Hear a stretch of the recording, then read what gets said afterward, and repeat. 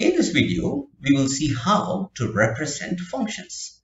Functions can be represented in many forms, but here we will look at some of the forms that it can be represented. So, first we will look at arrow diagram. So in an arrow diagram, we have two sets, x and y. f is the function which has a relation from x to y. So when I say that, 1 in x is related to 9 in y.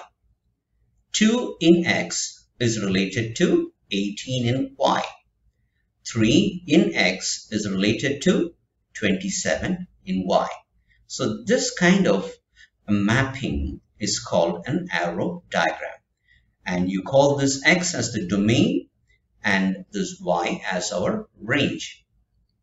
So the, the function is from x to y. The next form of representation is set of ordered pairs. So let's look at this function f can be written as a set of ordered pairs x, comma y. x is each element in x and y is each element in y. Now you can have many set of ordered pairs using these two, you know, Cartesian products. You can say 1, 9, 1, 18, 1, 27. But in this function, in this function f, your xy will be 1 and 9. Similarly, 2 and 18, 3 and 27. See, a set of Cartesian products of these two will be, will be the codomain, which we are not covering in this, but just for your information. But our range will be 9, 18, and 27.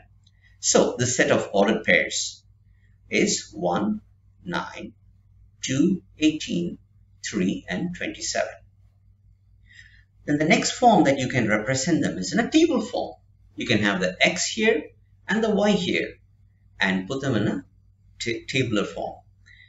And the last one is you can have them in the form of a graph with your x-axis with the domain and y-axis as the range.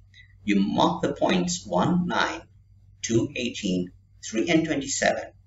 If you connect them, it will be a straight line in this case. So this is a form of graph representation.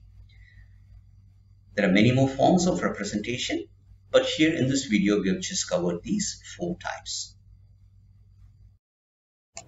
Thank you for watching Math Tutorial Anand. Please like and uh, you can comment if you have any questions and do not forget to subscribe to get more videos like this.